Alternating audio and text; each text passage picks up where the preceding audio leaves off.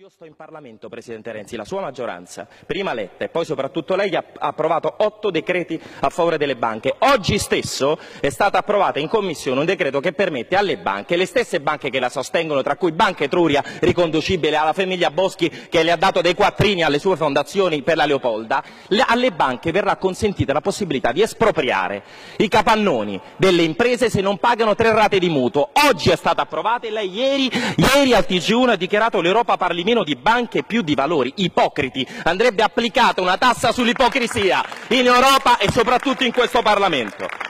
Poi ha detto che il referendum in Inghilterra deve essere, ovviamente in Gran Bretagna deve essere rispettato, deve correggere la linea di qualcuno del Partito Democratico ha detto che querela, che querelate, ma sono medaglie al valore le querele fatte da voi, querelate, ma, ma che pensa di intimorirci?